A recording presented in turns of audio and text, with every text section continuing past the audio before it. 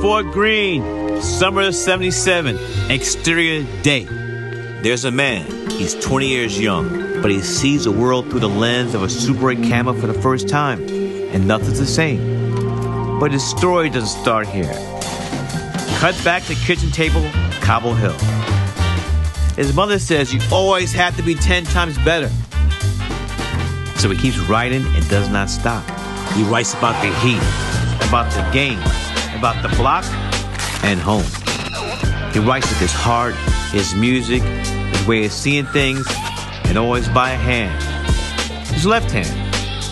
And it keeps writing and writing and writing and writing until it all cuts to black. Title appears. This is a story of a storyteller from Brooklyn.